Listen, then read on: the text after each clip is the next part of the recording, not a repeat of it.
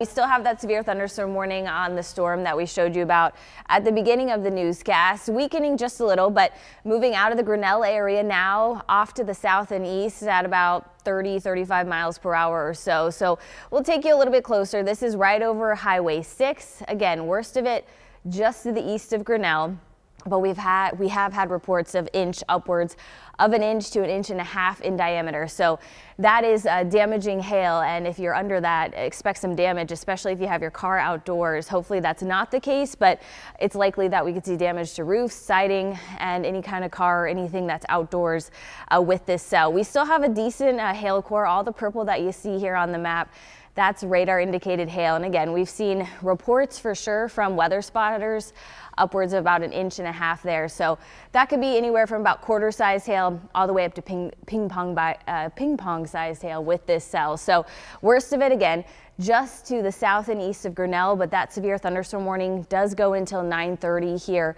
for Poweshiek County. We'll keep an eye on that.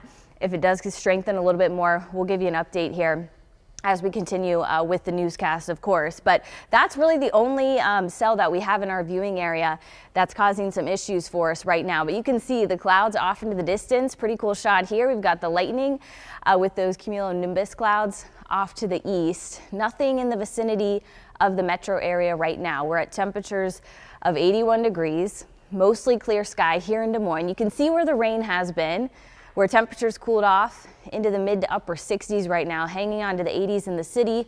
Elsewhere, though, mid to upper 70s, and the strongest winds with some of those stronger storms that push through northern and northeastern portions of Iowa, gusting to almost 50 miles per hour up towards Mason City and Waterloo. Here's what it looks like. We've got another round of storms here as we head through the day on Friday. Until then, whatever develops here this evening, especially across northern and northeastern Iowa, should eventually fizzle out here during the overnight hours tonight. We start off with some shun, uh, sunshine on Friday, and then we see the showers and storms kind of overspread right after lunchtime through the afternoon. We aren't expecting anything severe at this point in time, so just some run-of-the-mill showers and thunderstorms through the afternoon and into the early evening. We'll dry out Friday night, and we are back to a quiet Saturday and Sunday for the most part. So tonight, some storms. Those eventually fizzle out, but we're talking temperatures into the mid to upper 60s.